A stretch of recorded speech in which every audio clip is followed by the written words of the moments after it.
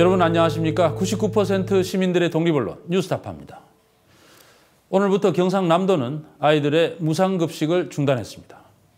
그렇게 해서 한 해 600억 원 정도를 절약하겠다는 건데요. 새누리당은 그것과 비교가 안 되는 어마어마한 돈을 날린 해외 자원개발 실패의 주역들 이명박, 이상득, 박영준, 최경환, 윤상직 이 자원외교 5인방을 청문회에 세우는 것도 안 된다고 막고 있습니다. 뿐만 아니라 기간 연장도 못하겠다고 해서 이제 국정조사가 끝날 위기에 처했습니다. 그러나 오늘 뉴스타파는 이들을 반드시 청문회에 세워야 할 이유를 다시 한번 말씀드리겠습니다. 석유공사가 하베스트라는 캐나다 석유 기업을 인수했다가 1조 7천억 원을 날렸는데요. 그때 자문을 한 것이 이명박 전 대통령의 집사 김백준 전 청와대 총무비서관의 아들이 있던 메릴린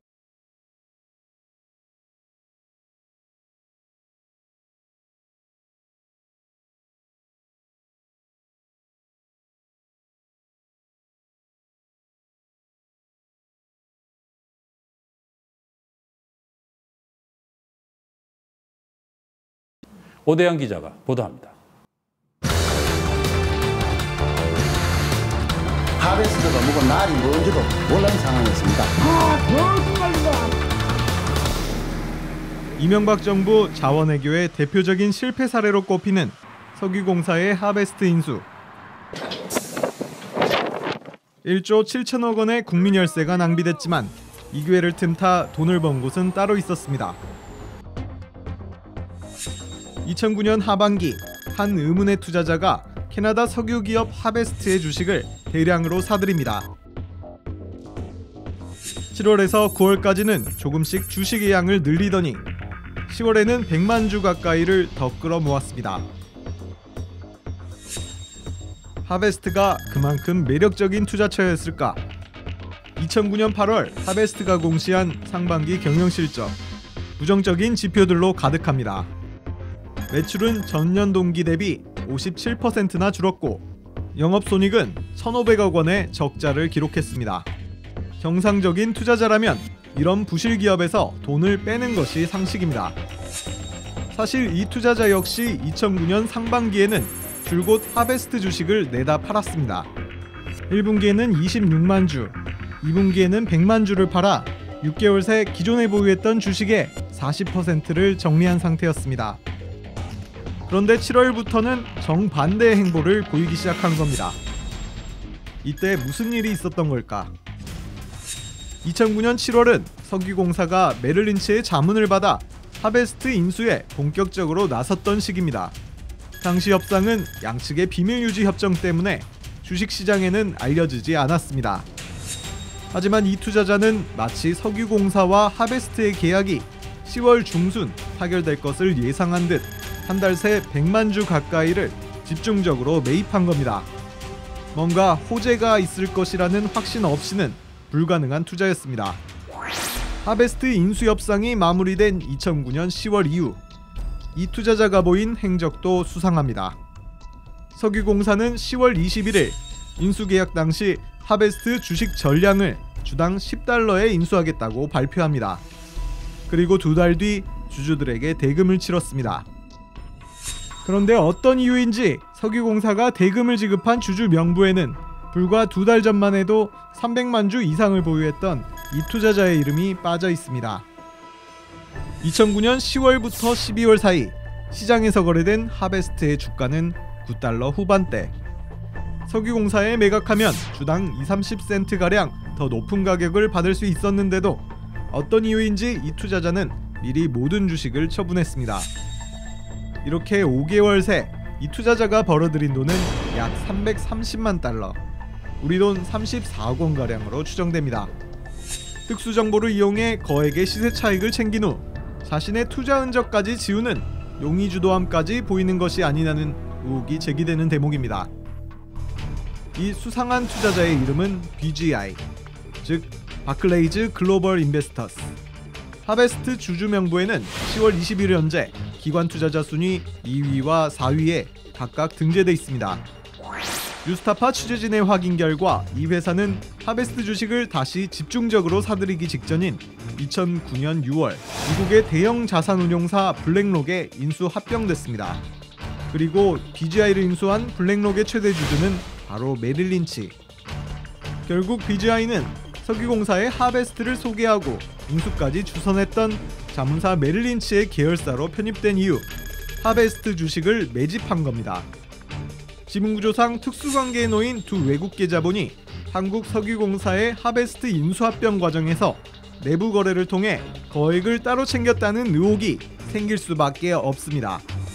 메릴린치는 석유공사의 하베스트 인수합병을 주선한 대가로 767만 달러의 성공 보수를 챙긴 바 있습니다. 그런데 사실상 메릴린치가 최대 주주인 BGI는 하베스트 주식을 사고 팔아 별도의 330만 달러를 벌어들인 겁니다.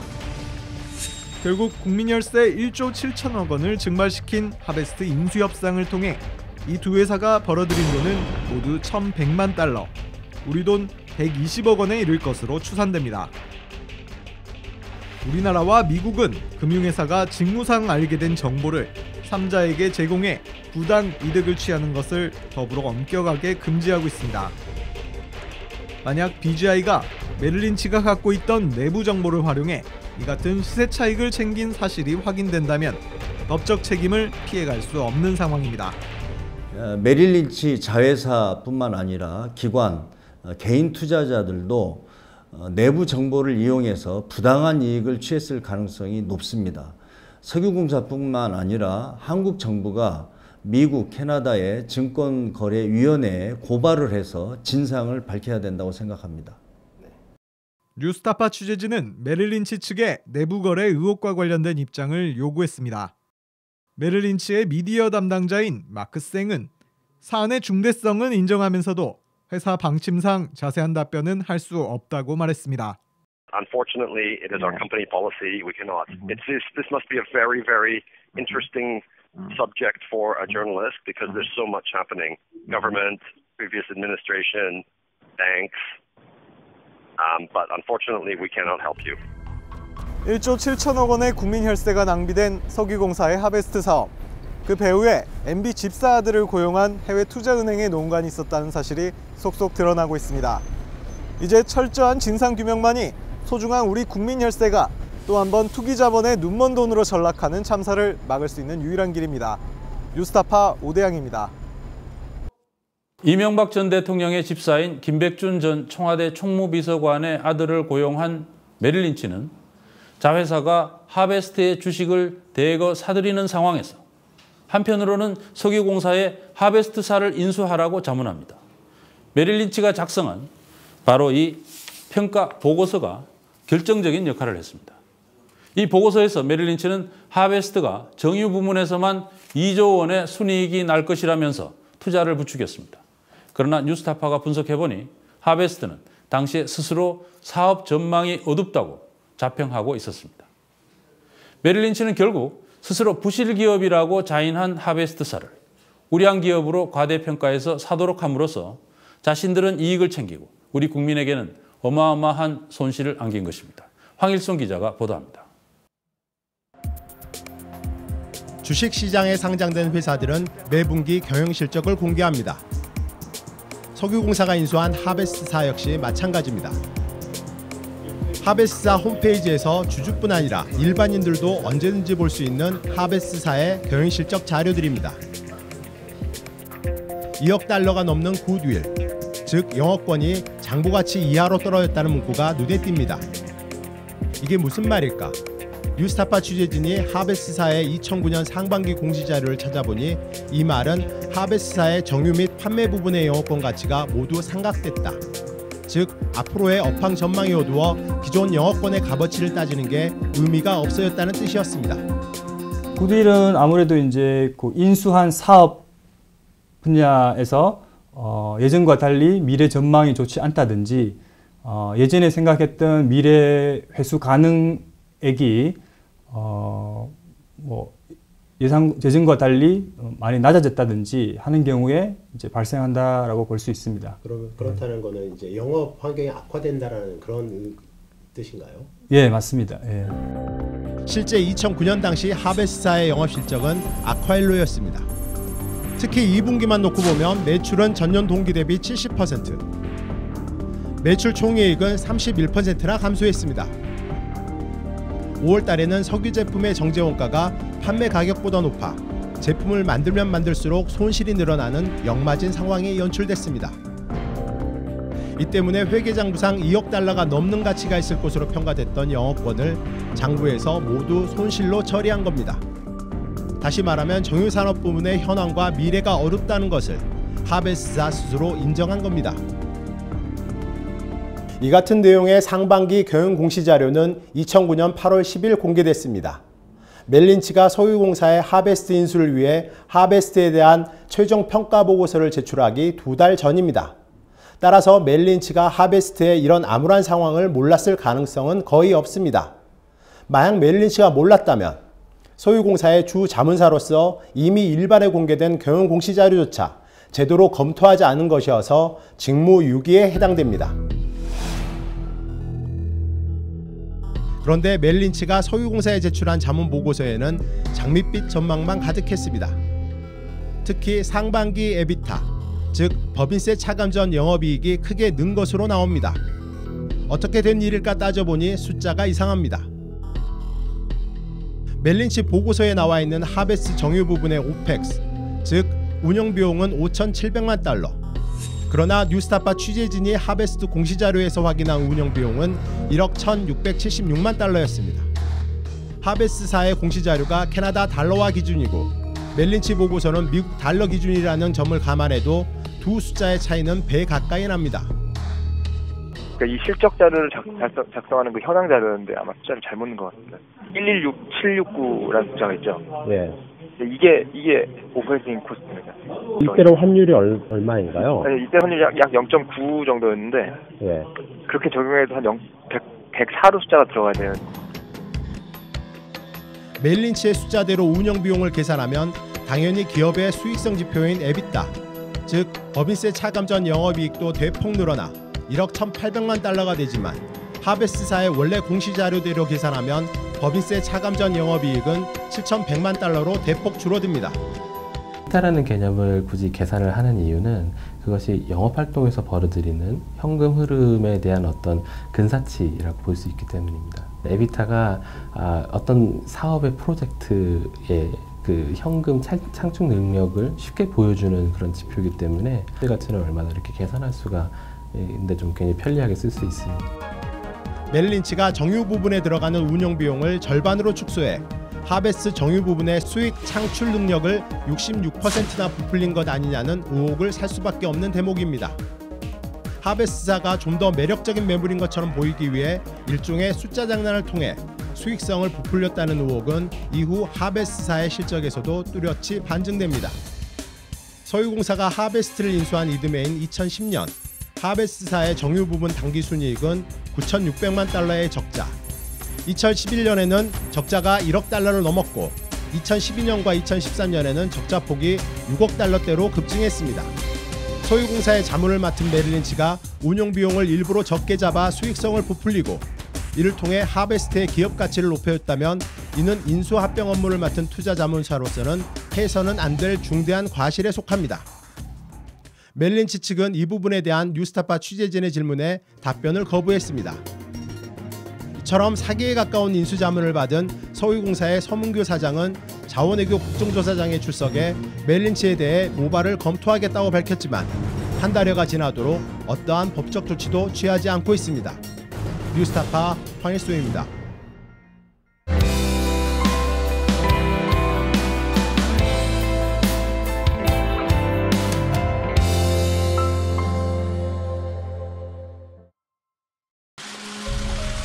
실종자를 찾기 위한 수중 수색 작업의 종료를 발표하고자 합니다.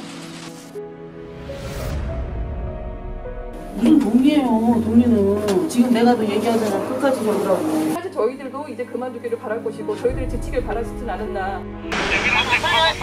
중간에 묶으라고 중간에. 봐봐. 다행인데 좀 끊으려고 얘기 좀 해주고 가라고. 지금 다행인지 아닌지.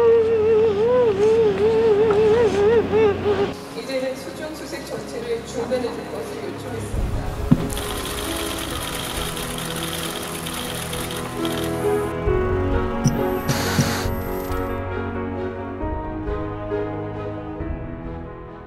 잘못을 했으면 지금이라도 실상을 고백하고 책임져야 할 텐데 자원 공기업들은 면피에 바쁩니다. 멕시코 볼레오 구리 광산에 투자했다가 큰 손해를 본 광물자원공사는 국회의원들에게 해명 자료를 뿌렸는데요.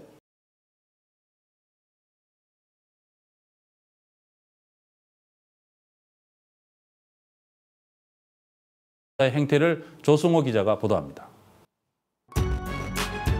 박수를 받으며 시작했지만 지금은 부실 자원 외교의 상징이 돼버린 멕시코 볼레오 구리광산 투자. 현직 장관조차 무리한 투자라고 평가합니다. 볼레오 같은 부분은 지금도 어, 광물장공사의 역량에 어, 벗어나는 그런 사업이라 생각을 합니다.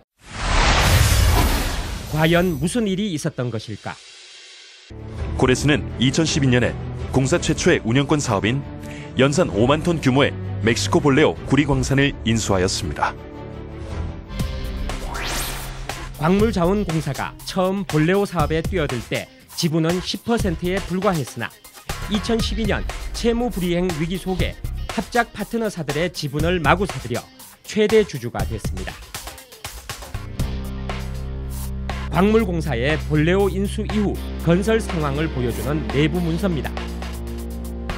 건설비 누계를 보니 2012년 1월 3억 6천만 달러, 2013년 1월은 7억 4천만 달러입니다. 2012년 한 해 동안 서류상으로 3억 8천만 달러, 4천억 원 가량이 투입된 것입니다. 같은 기간 공정률은 24%에서 52%로 배 이상 높아졌다고 돼 있습니다. 그러나 실제 공사는 그만큼 진행되지 않았고 2012년 투자에 4천억 원이 사라졌다는 의혹이 야당과 시민단체들로부터 제기됐습니다. 2012년 1년간 현장의 모습입니다. 문서에 적힌 것처럼 공정이 배 이상 진척됐다고는 믿기 어렵습니다. 제 구조물을 먼저 하고 그 구조물 하고 나서는 그 내부적인 뭐 철골이나 파이프 이런 작업들을 그 당시에 했답니다. 2012년에 파이프라든가 이런 시설들을 다 하고 있었기 때문에 손에 쓰여졌다고 하네요. 광물공사의 답변도 선뜻 수긍이 가지 않습니다. 볼레오 관련 의혹이 집중 제기되자 광물자원공사는 지난해 10월 국회의원들에게 해명 자료를 뿌렸습니다. 해명 자료에 들어있는 2012년 외부 건설 공정 현황입니다. 광물공사가 첨부한 사진 석 장. 처음과 끝 사진을 비교하면 한눈에 봐도 1년간 공사가 꽤 진척됐음을 알 수 있습니다. 그러나 뉴스타파가 확인한 결과 뒤 사진은 그해 12월 사진이었지만 앞 사진은 2012년 사진이 아니었습니다. 취재진이 볼레오 광산 운영사 홈페이지에서 찾아낸 2012년 1월 사진입니다. 광물공사가 국회에 제출한 사진과 비교하니 한눈에 봐도 확연히 다릅니다. 사진 속 원형 구조물들은 물을 거꾸로 흘려 불순물을 제거하고 농도를 높이는 counter current decantation, 이른바 CCD라 불리는 농축 시설입니다.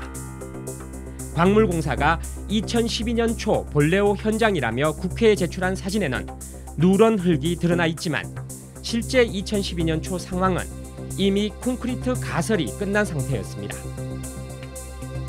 2012년 초반이라며 첨부한 사진이 실제로는 훨씬 이전의 현장 사진이었습니다.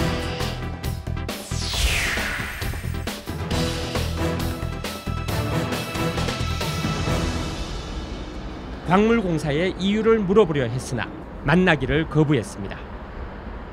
국회에 제출한 자료에 대해서 여쭤보려고 합니다. 그 자료는 저 김 팀장님이 만드셨을 것 같아서 홍보실 통해서 답변을 드리겠습니다.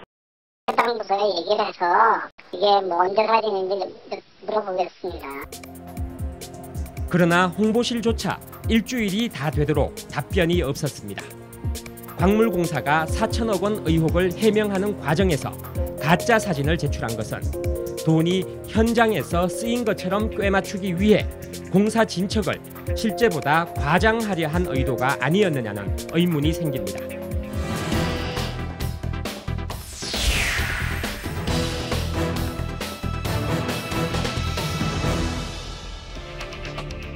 (2012년) 당시 볼레오 현장에는 2천여 명의 작업 인력이 있었지만 한국에서 파견된 인원은 기술직 한 명뿐이었습니다. 광물자원공사는 뒤늦게 현장에 실사팀을 보냈습니다.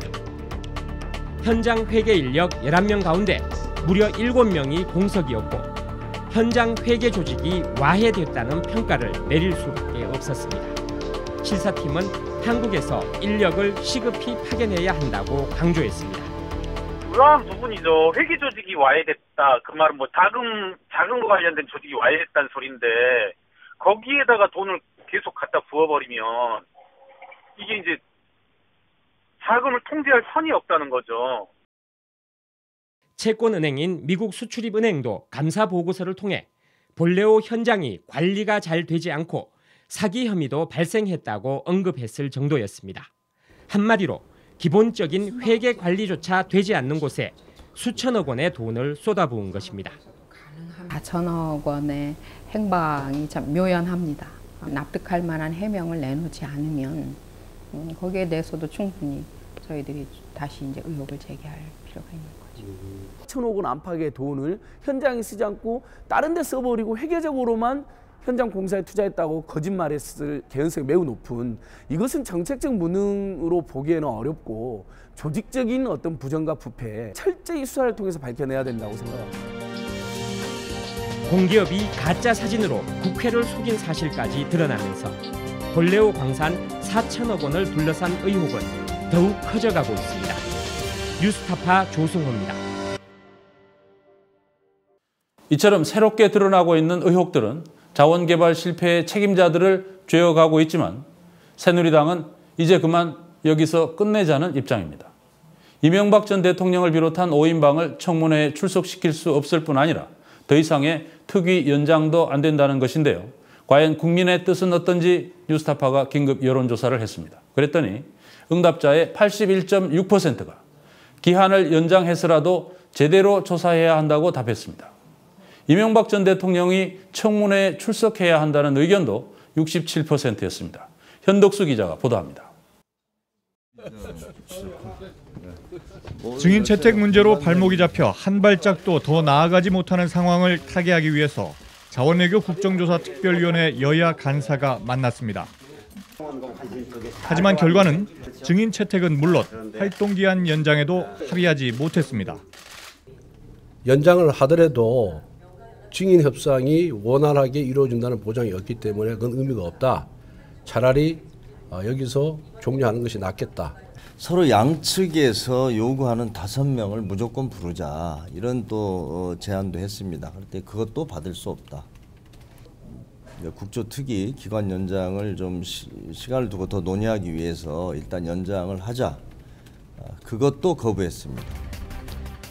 새누리당은 이명박 전 대통령 등 이른바 5인방을 결코 증인으로 받아들일 수 없고 문재인 대표가 증인으로 나선다 해도 협상의 여지는 없다고 못 박았습니다. 일부에서 국정조사 무용론까지 나오고 있는 가운데 뉴스타파가 여론조사 전문기관인 리얼미터에 의뢰해 긴급 여론조사를 해봤습니다. 국정조사 특위에 대해서는 기한을 연장해서라도 제대로 조사해야 한다는 의견이 81.6%에 달했습니다. 10명 중 8명꼴로 특위 기한 연장에 찬성한 반면 충분히 조사됐으니 끝내야 한다는 의견은 10.5%에 그쳤습니다. 정말로 이렇게 이 문제를 상당히 심각하게 받아들이고 있고 만약에 이 부분들이 특위 연장이 그안 돼서 허지부지가 여기서 종료가 된다고 한다면 데이터 자체로만 봤을 때는 제가 보기에는 좀 정치권에도 뭐 지지도랄까 그쪽에도 많이 영향을 미칠 정도가 아닌가 싶습니다. 이명박 전 대통령이 증인으로 채택돼야 하는지도 물었습니다. 찬성 67.2%, 반대 17.3%로 증인 채택 찬성 의견이 압도적으로 많았습니다.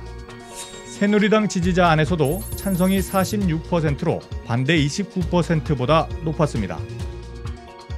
문재인 새정치민주연합 대표를 증인으로 불러야 한다는 새누리당의 주장에 대해서는 찬성 58.7%, 반대 29%로 나왔습니다.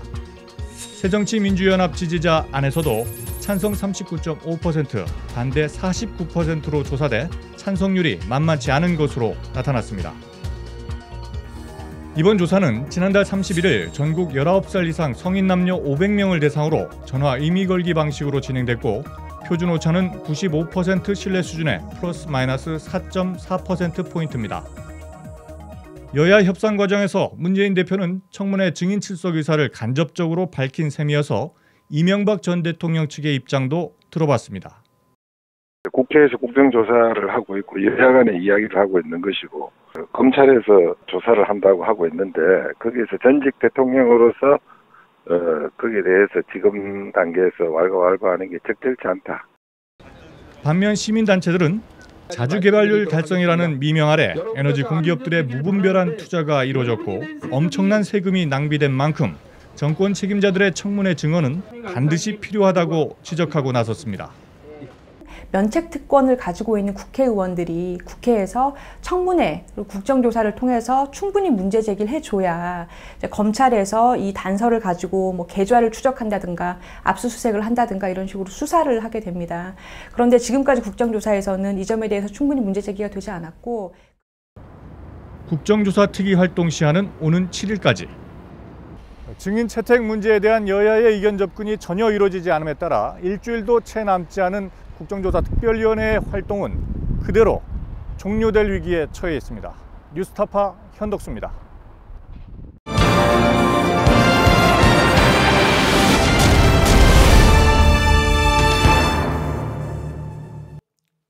작년 한 해 우리나라 아이들 전체를 먹인 무상급식 예산이 2조 6천억입니다. 해외 자원 개발로 날린 돈은 이미 손실이 실현된 것만 그 두 배 가까이 됩니다. 이해할 수 없는 것은 무상급식 예산이 아깝다면서 아이들 밥그릇을 뺏는 사람들이 그보다 훨씬 큰 혈세를 날린 책임자들은 철저하게 비호하고 있다는 것입니다. 새누리당 정말 이러면 안 됩니다. 국정조사 특위를 연장해야 한다는 국민이 82%, 이명박 전 대통령을 증인으로 출석시켜야 한다는 국민이 67%입니다. 특위부터 연장하고 증인 출석 문제는 야당과 대화하라는 것이 국민의 뜻입니다. 오늘 뉴스타파 여기서 마치겠습니다. 감사합니다. 새누리당은 이명박 전 대통령 등 이른바 5인방을 결코 증인으로 받아들일 수 없고 국정조사 특별위원회의 활동은 그대로 종료될 위기에 처해 있습니다. 이렇게 5개월 새 이 투자자가 벌어들인 돈은 약 330만 달러. 그러나 뉴스타파가 확인한 결과 뒷 사진은 그해 12월 사진이었지만 앞 사진은 2012년 사진이 아니었습니다. 운영 비용은 5,700만 달러. 멜린치가 정유 부분에 들어가는 운영 비용을 절반으로 축소해 하베스 정유 부분의 수익 창출 능력을 66%나 부풀린 것 아니냐는 의혹을 살 수밖에 없는 대목입니다.